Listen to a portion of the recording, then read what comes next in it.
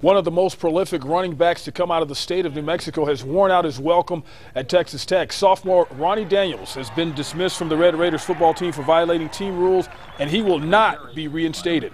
The former La Cueva star played in one game last season, helping his team beat the Lobos 59 to 53.